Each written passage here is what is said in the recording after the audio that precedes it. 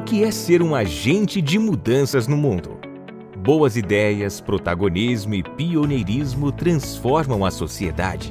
É isso que acreditamos no Instituto de Formação de Líderes de São Paulo. E por isso, todos os anos realizamos o Fórum Liberdade e Democracia um espaço que fomenta as mudanças que precisamos para uma sociedade mais livre. Passaram pelo fórum nomes de peso como Peter Thiel, Paulo Guedes, Guilherme Bentimol e Nassim Taleb.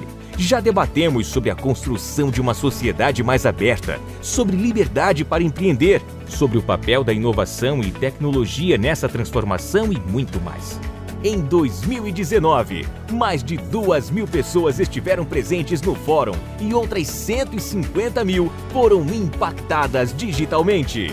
O Fórum de 2020 já começou e dessa vez vamos falar sobre pioneirismo. Os pioneiros são os agentes de mudança no mundo, aqueles que impactam positivamente a sociedade personagens seremos na construção de um futuro mais próspero? Como abriremos caminhos para os próximos líderes? Que recursos criaremos na concepção do nosso legado?